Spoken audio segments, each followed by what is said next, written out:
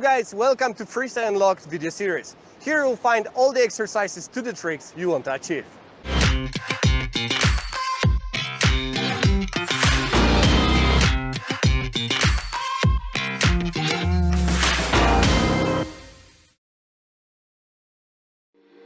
Using step-by-step -step instructions, practice blunt while standing.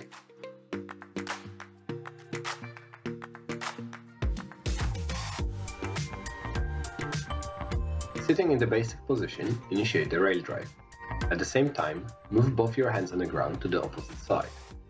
Bring your leading knee and foot up while leaning all the way to the opposite side of the ground. Push with your secondary hand from your hip and on your leading foot. Try to stand up and get your hip up from the ground. Initiate a rail drive. At the same time, move both your hands to the opposite side. Bring your leading knee and foot up while leaning all the way to the opposite side.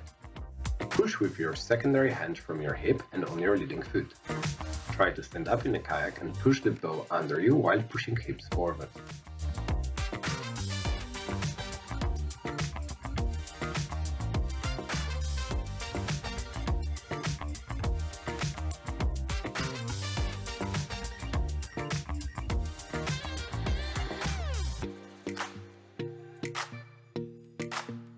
Practice initiation by doing rail drive taking off from the bow part.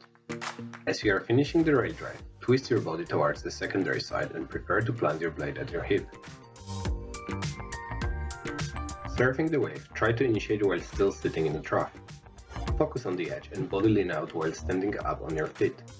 The move may seem more like a bow end of a cartwheel, however the edge and hip push are the most important at that exercise.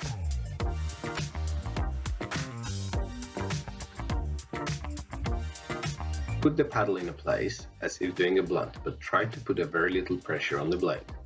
Should be more as a tap rather than a proper blunt push.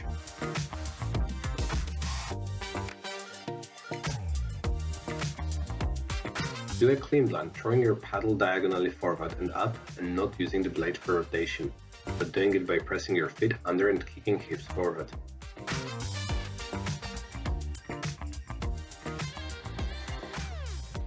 Enjoy your blunt.